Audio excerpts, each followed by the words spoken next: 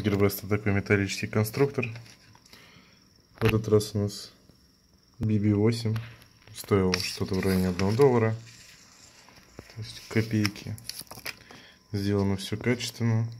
Все хорошо. Собирать, конечно, это очень долго. Без бутылки не разберешься. Но у меня такой конструктор уже не первый. Поэтому... Вон их сколько разных. Очень много.